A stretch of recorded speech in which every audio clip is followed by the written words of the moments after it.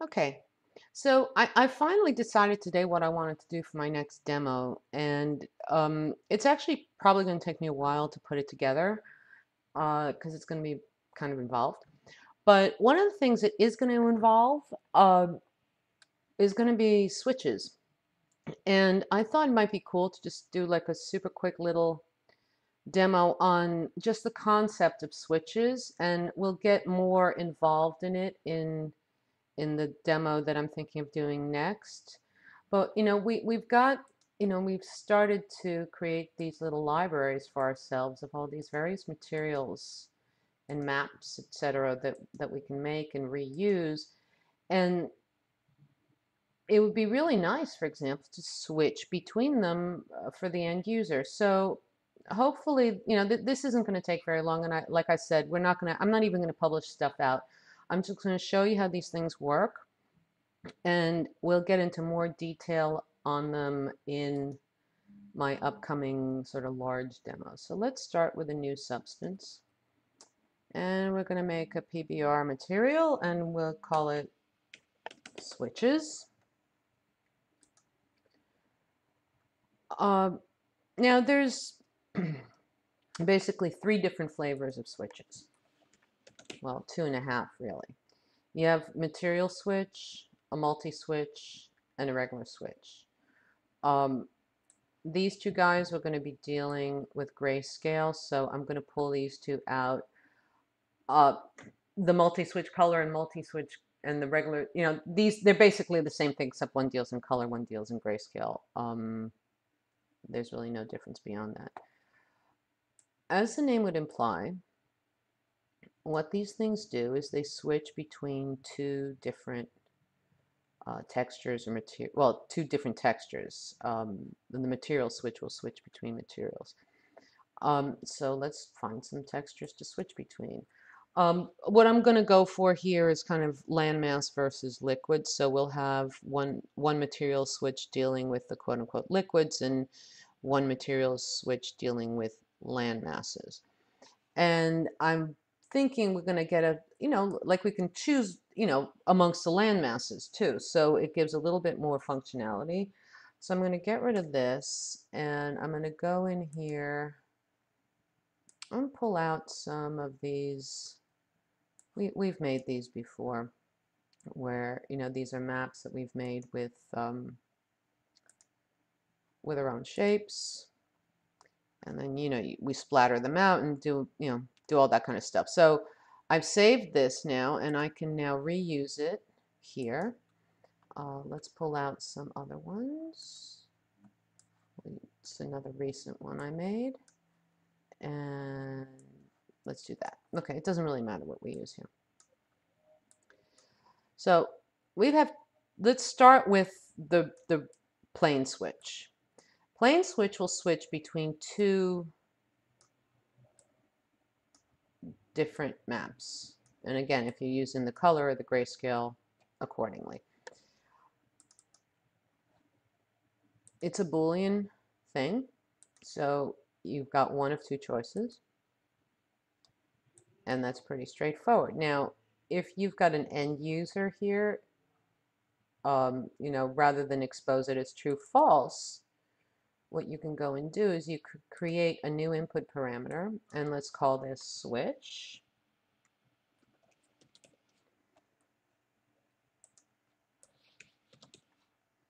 And we create a boolean. And then here if you create your own input parameter then you can actually label it.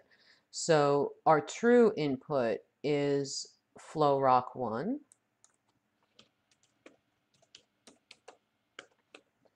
And our second one is, what are you called there? Splatter ground one.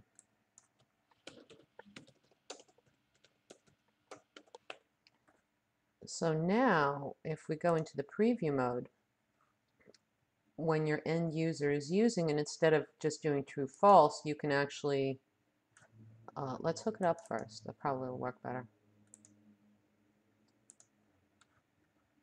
So when you go into the preview, after having hooked it up, you can change it and it's got this nice little name on it as opposed to true false, which is meaningless in this particular situation. Uh, okay, multi-switch. Same idea. Only now you can add more than one, more than two. So now, obviously, because it's more than two, uh, it's not Boolean isn't going to work for it. So let's call this multi-switch now.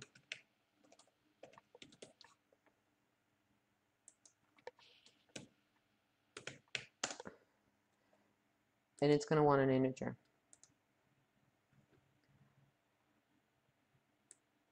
So if we actually go and look at the uh, parameters for multi-switch, we have two things here. We have input number and input selection. Right now, if I switch between 1 and 2, it's doing exactly what was happening with the other one. Input number tells you how many inputs you want. So, I mean, you could have 20 in here. I mean, it would be pretty inefficient because remember, the more work you make one of these nodes do, the slower things go. But uh, as far as I know, there's no limit on it. Uh, we're only going to need three. And now that allows us to put this other mask in here. And now we can switch between one, two, and three. Now, if you go up beyond that, again, it's not going to work. So we're going to go into our input parameters and we're going to make another one. Oh, did I? I already made mine. I, I changed the old one. Okay, so we're going to have the maximum here as 3. And we're going to set the clamp to true, so it's not going to let people go beyond 3. Now, let's preview this. All right. So I can go ahead. Oh, did I? You know what I did? I forgot to do it again. Okay. Let's try that. There we go. Okay. So if we go into multi-switch, go into preview, we have one, two, three. If I'm an end yeah, I guess this is acceptable, but how much cooler would it be if we created a drop-down list? So now, it, again, this is crazy easy. Um, this number in here corresponds to the input number. So by default, it's giving you zero, but you really want the number one because this is looking for the number one. So that's the number we're going to put in there. This is just a label. So I can call it flow rock one. And I can add another item. So the next one I'm going to have is number two. So we're talking about this input. So it, that's splatter ground one. And then I'm going to add a third one. That's corresponding to the number 3, and that is rock 2, rocks 2.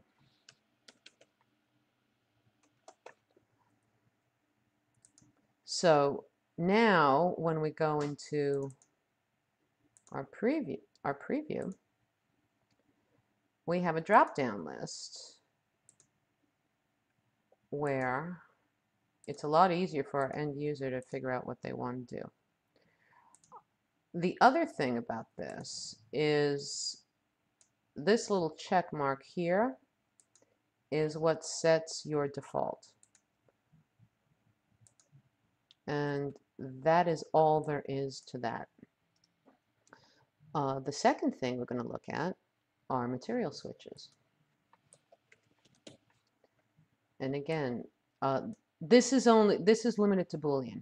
You can only do it with two. Now, in the material switch itself, again, this is really straightforward. Um, you have two versions of these, it's currently set to this. You can change this around. Number two, number two, and set number one. These channels, so I we we're not going to use a diffuse, so I'm going to set that to false. Uh, we're going to have a base color. We're going to have a normal. We're going to we're not going to have a specular, so I'm going to set that to false. Uh, we're going to do the ground bits first, so they're not going to have an emissive. We're not going to use glossiness. We are going to use roughness. We've got metallic, no specular, no ambient occlusion, height, opacity, that all seems to be good. So we've got our basic things right here. Now all we need to do is go into our library and pick out two materials that we have. So let's come in here and pick out some. How did this? This is I don't know. That's some weird thing that it made. Um. Okay. No.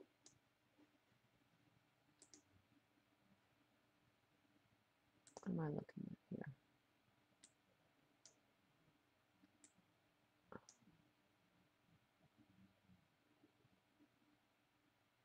Oh, there it is. No, it's a different rock one. Yeah, I don't know where that was stupid material. Oh, here it is. Um. Okay. Hook it up. Hook it up. It knows where it needs to go, and then you just double check. I mean, sometimes, like if if we, for instance, wanted to add an ambient occlusion, all we would have to do is go into the material switch and add the ambient occlusion. Now all of a sudden you've got this extra node and you can hook it up. This one doesn't have it. This one doesn't really need it. So I'm just not going to have it. Um, we'll get more involved in the sort of minutia of this because once you when we start doing the bigger demo because once you start combining these things especially in terms of heights um, it's perfectly okay. Like for example, if you know what, let's let's get to it a little bit later. Okay, so this is our first set of materials, and what we're going to do is we're going to get a blend node. So we're going to use this as our mask.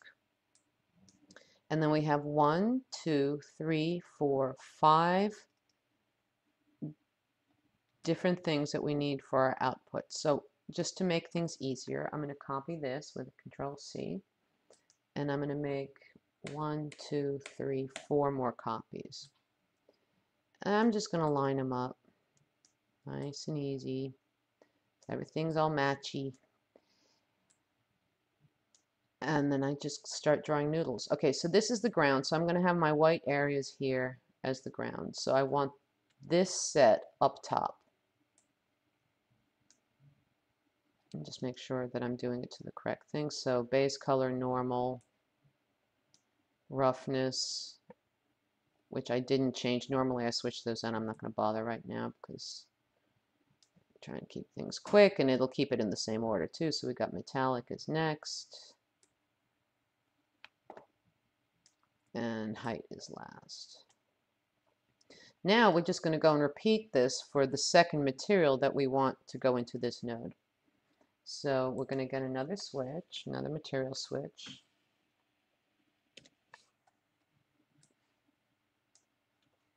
And now we're going to get our quote-unquote liquids. So I liked that lava that we made the last time, and I think I put it in emissives, yep.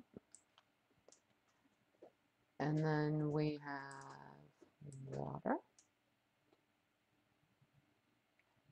So again, you know, I'm going to look at these. Um, I'm going to keep this real simple. Again, we're not even going to publish this out. So I'm not going to worry about things like opacity, et cetera, et cetera. We are going to have to add, though, an emissive here.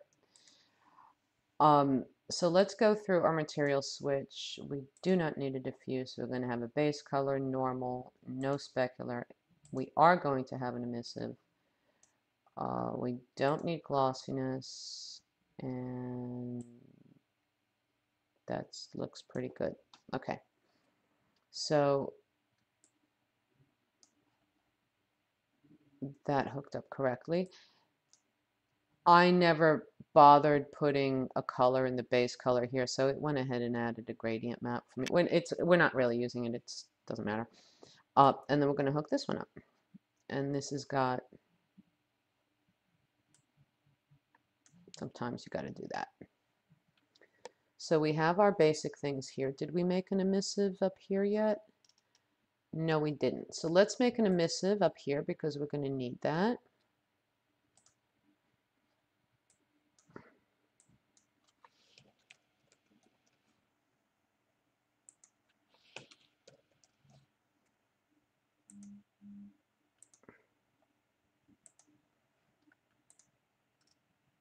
And we're going to need to add another one of these guys for the emissive node. So again, we're going to put that mask in there. This one doesn't have, this will never emit because that's not how we want it. So what we can always do in here is um, just do that because uh, it's always going to be black. And then down here we can take our emissive. Oh, let's do it the other way around. Um, take our emissive channel and put it in there. And then we just hook up all the other guys. So we have base color. I'll always do that. So base color. Normal.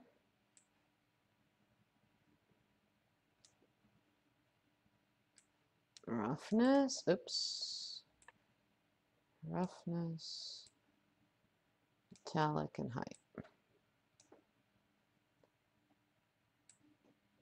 And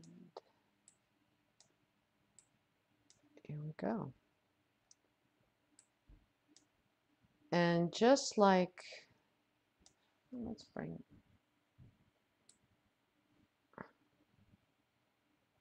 let's find a spot for you there. So this is my 3D view. Right now it's just a cube. If I want it to show, I'm going to view outputs in 3D view. So this is my material as it stands right now. Obviously we can do all kinds of tweaking. There's no animation in here. So uh, we're not really worried about that right now anyway. So let's take a look at our switches. Um, we have these two are set up as Boolean. I know, did we even do this one?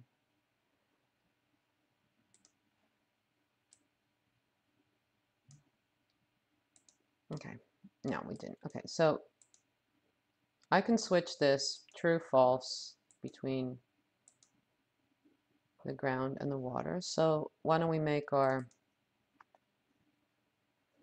input parameters here. It's one that I made that I didn't use, so we'll use that. So we call this ground switch. And again, we want this to be a Boolean. And while we're in here, um, oh yeah, let's let's do this. So yeah, okay. Right now it's set to what? Um, because this one doesn't. It gives you number one, number two, and I always forget which one's which. Okay, so right now it's on water. So let's take a look and see what this is actually at right now. So water is false. Oh, so we're doing the ground. Sorry. So this number one is false. Number two is true. One is false. Number two is true. Okay. Really? Okay, well, let's see. Okay, cave rock and green ground.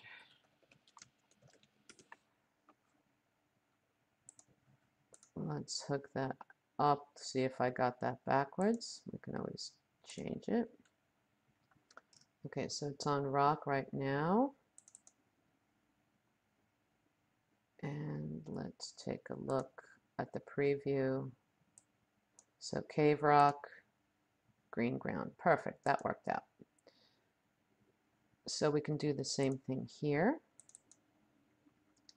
So we're going to make a water switch, or let's call it liquid switch.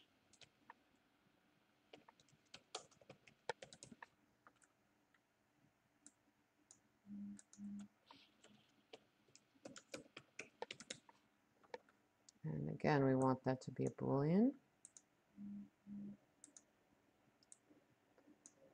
And we said one was false, so lava flow and water. And because I have absolutely no faith in my own ability to get that right, I'm going to double check it. So liquid switch, lava flow. No, I got that exactly backwards. See, I know myself. Stuff like this, I, I'm like a negative barometer. I always, I, I also have trouble with left and right. So um, I, I have to go back in here. Liquid switch. So I'm going to change this to lava flow. Right, change this to water. Maybe that'll be right. Okay. So it's currently set to water.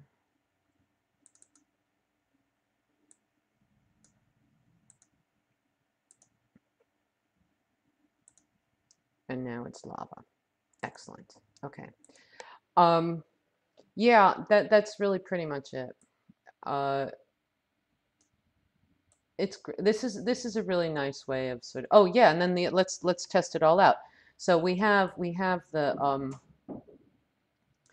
we have the two kinds of materials but now we can also go in here and change the kinds of rocks that we have. So we can change that and then we can also change it to lava and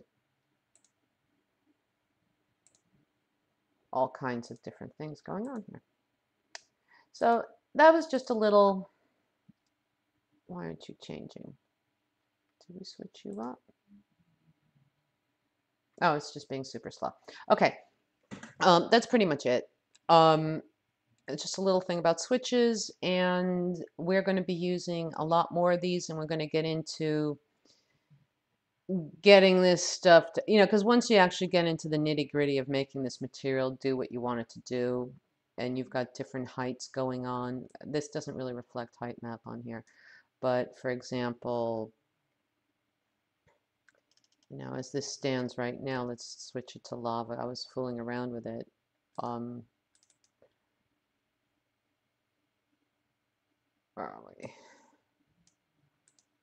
Um, Yeah, like um when you get into the height right now, the the way it is keep doing it. The, the way it is now is that sometimes the stuff where I have the liquids is higher than the ground because when these maps were originally made, the height maps were, were made in relative to other stuff and you can go back and you can go into the height maps originally, but then anything else that's linked to that node, you know, linked to that file is going to change. So one of the things that we're going to be doing is that in between these two, it's perfectly legitimate to put in levels and other things that will make the, make these particular materials work harmoniously with each other for this particular situation without going back and changing the original. So in a, I guess in a way you're kind of instancing them. It's a, well, an instancing hack. Um, but that's for another demo. So hope, hopefully this was helpful and I'll see you soon.